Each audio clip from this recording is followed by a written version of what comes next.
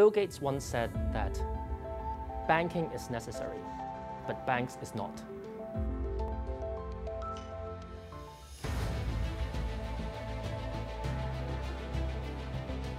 Virtual bank is basically similar to a traditional retail bank, but there's a bank without a physical branch. The main market would be primarily the retail market.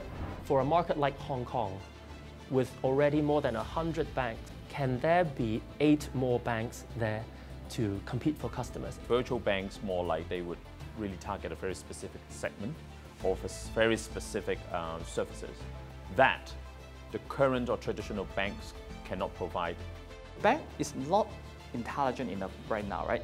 We can help the Hong Kong people quite differently. There will certainly be heightened competition. Traditional banks' profitability and market shares could slowly be eroded if they don't adapt quickly in the face of increasing competition. One of the analysts from an investment bank, they estimate that one third of the retail banking revenue will go into virtual bank. What is a bank today may not be what it is going forward. Who will win, I think we need to see.